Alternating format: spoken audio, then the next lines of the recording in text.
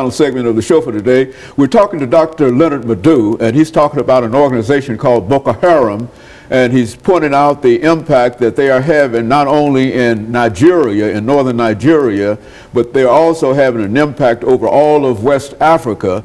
And Dr. Madu, let's pick up where we left off, because mm -hmm. I think what we were trying to uh, get to is uh, what impact uh, has this and what implications has this mm -hmm. activity for the uh, United States government? Should we be concerned about this one way or the other? Yep, a lot, because uh, the question is who is sponsoring them? Mm -hmm. Somebody is paying the bills, definitely.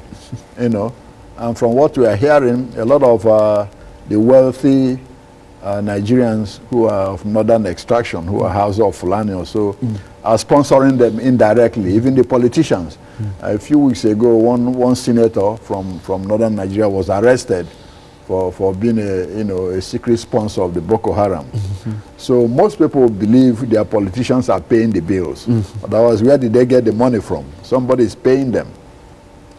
That's where the United States com comes into.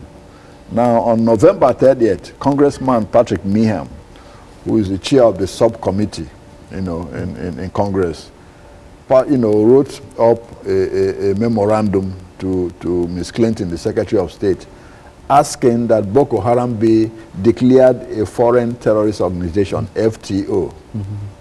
Now, the, the, there are some criteria for an organization to be, be, declared a foreign terrorist organization. It has to meet three, you know, important criteria. One is a foreign terrorist organization.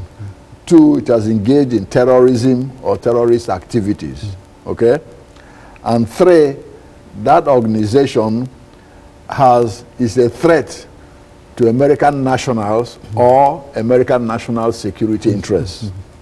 now, in my, in my opinion, Boko Haram meets those criteria. A, it is a foreign terrorist organization. B, it has engaged in terrorist activities, you know, terrorism, bombing churches, bombing, you know, hotels, bombing pubs and all that. It's a terrorist activity. Three, you know, security to interests of American nationals and American national security. Yeah, it means that. They hmm. bombed the United Nations building. Hmm. there might be Americans working in that building, you know, who get hmm. killed. Yeah, those churches that are bombing, there be Americans who are going to those churches. Most Americans who walk over there are Christians who might be in those churches. And, and three, some of the oil installations, you know, that they're trying to, to bomb now, America gets about 20 so percent of it oil from Nigeria. Mm -hmm. In fact, George Bush, when he, when he was in charge, you know, mm -hmm. before he left office, said, hey, if those Boko Haram threatens the oil installations, that the American government might be forced to move in. Mm -hmm. In fact, when the Niger Delta militants were threatening those oil, we went in there with some equipments and all, including drones to help the Nigerian government fight them. So right now, General Carter Ham, who is the, in charge of AFRICOM, the American military base in Africa, mm. says that Boko Haram should be taken seriously and declared a foreign terrorist organization. Mm. So the mechanism to, to, start fighting them like Al-Qaeda mm. will put in the motion.